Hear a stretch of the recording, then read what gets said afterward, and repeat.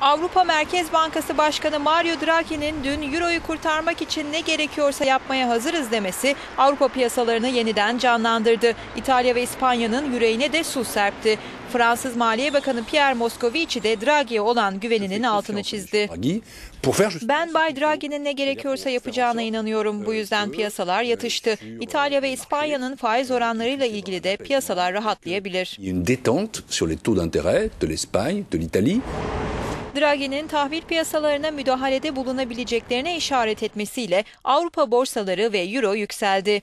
Euro bölgesi ülkelerinin borçlanma maliyetleri de düştü. İtalya'dan da bu açıklamalara olumlu tepkiler geldi. Avrupa Merkez Bankası Başkanı Mario Draghi'nin açıklaması olumlu bir hava yarattı. Piyasalarda olumlu tepki verdi. Bizim borçlanma maliyetimiz bile bir önceki seansa göre düştü. Kulislerde Avrupa Merkez Bankası'nın önümüzdeki haftalarda ikinci piyasadan borçlanma kağıdı alımı yapmaya hazırlandığı konuşuluyor.